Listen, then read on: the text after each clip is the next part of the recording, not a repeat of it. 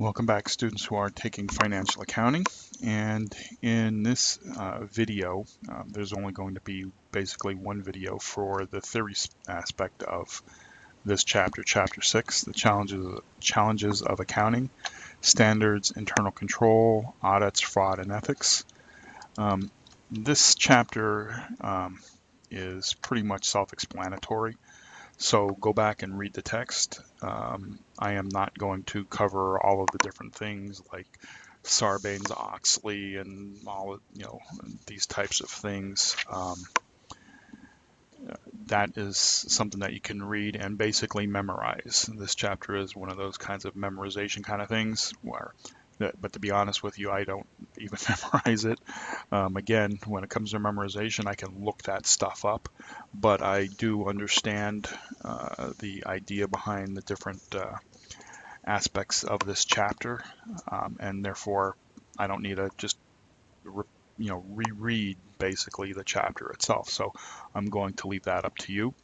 Um, the two things out of this chapter that um, I, I felt needed or uh, to a certain extent should be covered our audit opinions and of course the section on the focus on decision making. So when it comes to audit opinions, um, what happens is, you know, your CPA will come into your business and do an audit. Now, uh, for those who are taking or who are in the accounting curriculum, um, in your junior year or your senior year, you will have one whole subject that deals with auditing. Uh, so I'm not going to get into what happens during audits and things like that. However, it is important for everybody, including business managers and so on and so forth, that they understand what you know audit opinions are. So you have this third party, you know, the CPAs who come in and who go through your books and you know uh, look for things and basically audit to make sure things are correct, and then they uh, give an opinion on your financial statements and they break it down into uh, these four different types of opinions. Uh, come on, let me get my pen here. Um, you know, you have an unqualified, an, which is also called a clean opinion, right? Now, I'm not going to reread what's in, you know, the reasons supporting the opinion or the impact on the results of the opinion. I mean, read those and again, uh, understand what's all involved, all right? Um, but they give four different opinions, an unqualified one, qualified, adverse, and a disclaimer. All right. So the way you think about it is uh, the unqualified as, a, as an overview. Definitely read and understand these uh, supporting reasons and the impact of the results of the opinion.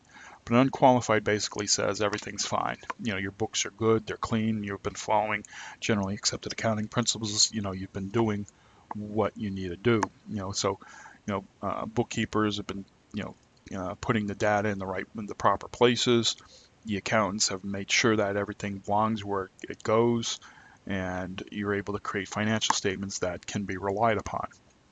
Qualified um, is is okay. I mean, obviously, you you know you want the unqualified, right?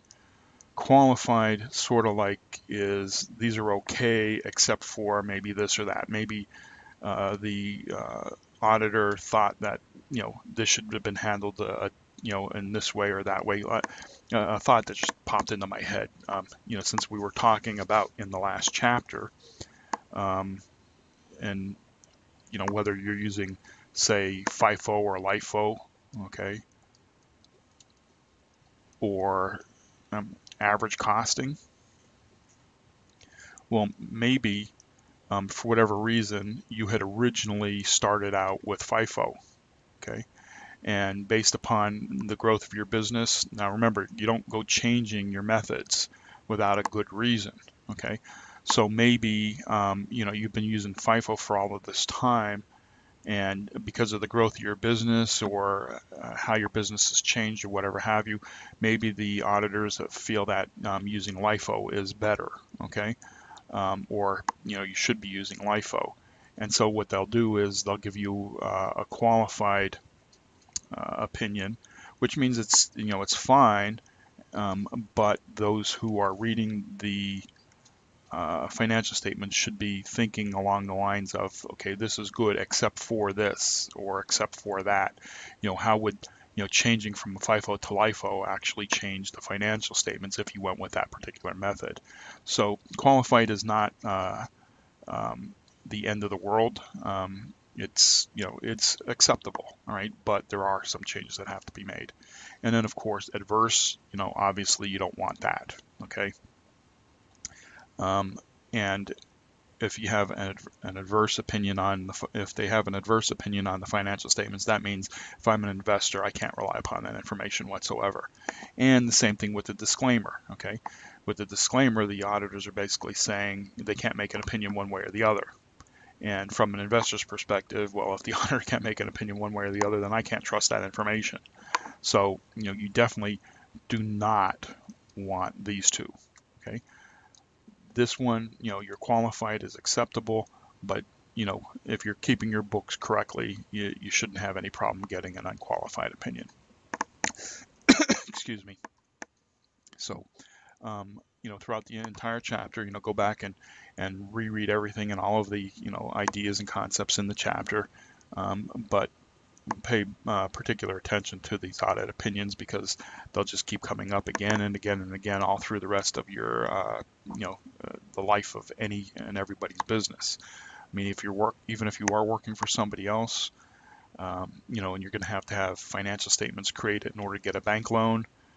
Um, yeah, if you have an account there, they're able to create those financial statements, but uh, sometimes that bank might say, hey, you know, we want this done by you know, uh, a third party being a CPA, and they'll come in and they'll give an, uh, you know, an audit opinion on it. So it's, uh, you know, these are, you know, something that you will see again and again and again in the rest of your business life. All right. So lastly here, we're going to move on to focus on decision making. Now, as you recall, the accounting equation, right, is you know, assets equals liabilities plus equity. Okay, and in this section on the focus on decision making, um, the formula that was given was, you know, what's our stockholders' equity? You know, it's our assets minus our liabilities. Okay, so all we did was we just rearranged the accounting equation. Okay, so this is nothing new. Um, what is important about understanding what the stockholders' equity is, is um, you know, whether uh, you know the business is an ongoing concern or for when you close the business. Let's just uh, to get a, a, little bit better perspective. It's easier to talk about when the business closes. Okay, so I'm going to refer to it as when the business closes. Now, and I'm just going to throw in some numbers here. Let's say, and I don't know if these numbers work. It, it really doesn't matter. But let's say there's 100,000 in assets there's 70,000 in liabilities and 30,000 in equity. Okay, so you know, yeah, here's my 30,000 in equity, um, 100,000 in assets minus 70,000 in liabilities. Okay. Now here's the here's the important thing about this. Yes, my accounting equation um, can't you know is in balance, and to take a quick look at the business and say, okay, the stockholders' equity is 30,000, you know, that's a little bit naive. I mean, that is on paper. What happens is, is when a business closes, they take those assets and they have to liquidate the assets. Another, you know, they have to convert those assets into cash and pay off those liabilities. Well, you know, let's say, um, I mean, obviously cash is cash, but let's say you have accounts receivable of say 20,000, okay? you know, if you went and said, hey, um, I want you to pay off your accounts receivable, you know, are you going to get the full 20,000 in accounts receivable? Unlikely, right? Because you're wanting it right now, and people, you know, if I if I owe three thousand dollars, I might not have three thousand in cash to pay you immediately. And what will also happen is a lot of people will say, oh, well, that they're going out of business, so why should I pay them? Okay. Uh, so you're not going to get the full $20,000 in your accounts receivable. The same thing with your uh, with your uh, assets. I mean, if you had, you know, um, a computer and you paid 5000 for it, you know, and let's say you've depreciated it 1000 right?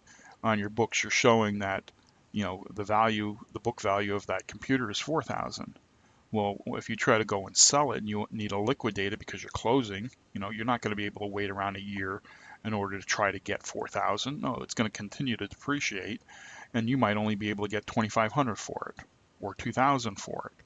Okay, so the point being here is, is that you know, this $100,000 in assets does not necessarily mean that's exactly what you're going to get. You're not, at the end of the day, you're not going to get 100,000. You're going to get something less. And whatever you get less, you're going to have to try to pay off that $70,000 in liabilities. Okay. Um, if all of that, you know, can, if all, if you only get $70,000 from the sale of your assets, it pays off that $70,000 in liabilities, which means your equity is zero. There's no equity in the business. Okay. On paper, when you're looking at financial statements, yes, the stockholders' equity, you know, you're sitting there and going, okay, you know, they, you know, the investors have $30,000 into the business, and that's a good sign. Obviously, if I was selling off, you know, I, I was recouping my equity, you know, um, let's say we wanted to take $20,000 out of that equity, well, that means I'm going to reduce my cash um, by 20,000. Okay, so I'm only going to have $10,000 in equity and only $80,000 in assets, and I'd still have to pay off the $70,000 in liability. So, uh, you know, having this, understanding this relationship a little bit, um, you know, uh, gives you a little bit of an insight into uh, just exactly, you know, how much this business is worth to someone. Okay, um, you know, you have to consider the assets that you have and how much they're actually worth. You know, you have to pay off the liabilities. That number doesn't change unless you can, you know, manage to negotiate. Let's say you, you know, you owe $10,000 to somebody and you say, hey, look at, you know, I'm only going to be able to give you uh, pennies on the dollar. I'll give you 30, uh, 3,000, you know, take it or leave it. And it's funny because as I was just talking about that, um, uh, I was yesterday I actually read on the internet about Donald Trump and how he would uh, you know that this was part of his negotiating tactics with uh, his various vendors, um, where he'd say, "Hey, take it or leave it," you know, as far as the liabilities. Because remember, he he went into bankruptcy. Well, portions of his enterprise went into bankruptcy in Atlantic City four times uh, over the last like 15 years. Um, and it's a restructuring uh, bankruptcy, which means everybody shares. You know, they they restructure it so that quote unquote everybody shares in the responsibility of those liabilities, which I thought was uh, ridiculous because no, I did the work for you. I should get paid. I shouldn't take a loss on my work, you know, and just to, you know, just because you can't manage your, your business properly. But that's a whole other story. But it, it does point to the fact um, that, um, you know, just because you look at stockholders' equity does not necessarily mean it's exactly what you see. Okay, you have to think through, you know, what happens with your assets, what happens with your liabilities, in order to get your stockholders' equity. All right. So, like I said, that's it for uh, you know chapter six in the theory. There's not going to be another video here. Um, also, too, you know, there's only the short exercises um, for chapter six. There's not going to be any exercises or problems because basically uh, this chapter was about uh, concepts and ideas. Um, so go back and reread that, you know, read the chapter and study it. I'm not covering anywhere close to everything that was in that chapter, right? And I'll see you in the next set of videos for the short exercises.